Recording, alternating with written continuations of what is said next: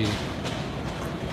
We're at the NRA annual meeting 2016 in Louisville, Kentucky. Don't forget to check in down below.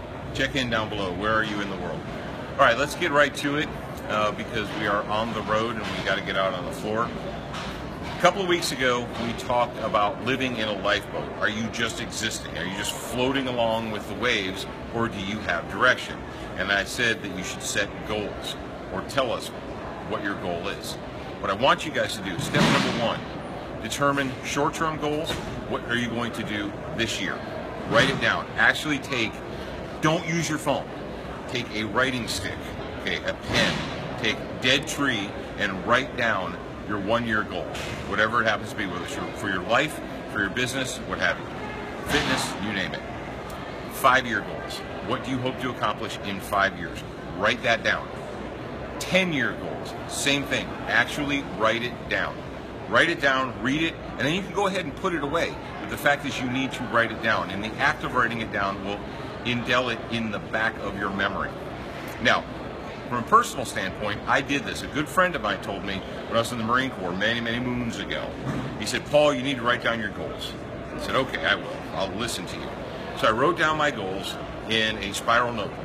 Wrote them all down. I wrote my one year, five year, 10 year goals down. And I put that notebook up. I actually changed duty stations, went away. I got out of the Marine Corps. I found that notebook. I opened it up.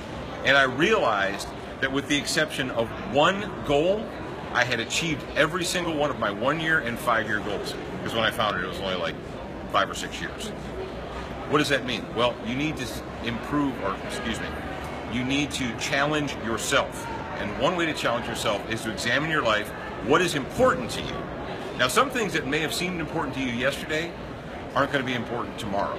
And that's where you have to take a look at your life and examine it. Set goals, help yourself meet those goals. Now, the kid on the other side of the camera, he's been doing a fantastic job helping you meet fitness and training goals. Jarrad, Yeah. where should they write to you? Uh, well, uh, one, I want you to post your goals in the bottom, down below in the comments. And two, you can write to me at jarrad at studentofthegun.com, J-A-R-R-A-D at studentofthegun.com. And I will follow up with you once a month, about once a month, just to make sure that you're continuing on your path to reaching your goals.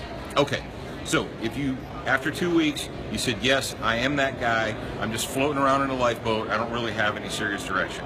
Examine your life. What are your priorities? What do you hope to accomplish? Write down a one year goal or several one year goals. Write them down physically.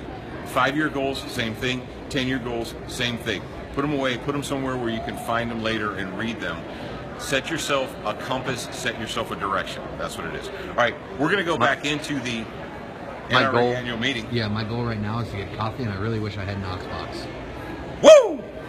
All right, and we're going to be posting throughout the weekend, so pay attention. Oxbox, get one. Ox Beyond Rugged on Facebook, on Twitter, on everything. And we're going to be giving one away at the end of this month. So share guys- yeah. and post. Share this post. Share and post. Tag two people. Is that it? Yep. All right.